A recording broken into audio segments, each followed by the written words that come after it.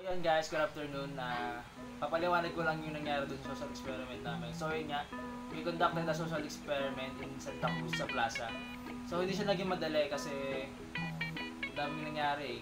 Maabot siguro kami ng dalawang oras din, puro hapon, gabi kami nakakauwi halos.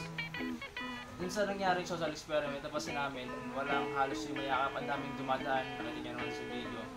Puro nilalampasan lang nila yung, ano, yung artist namin.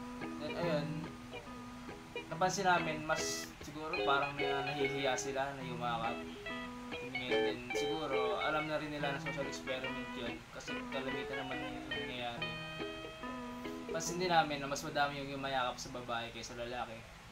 Then, ayun, siguro naging resulta ng ano namin, yung side negative kasi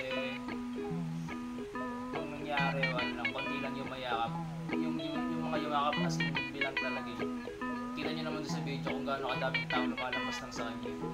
Minsan may tumatawa pa.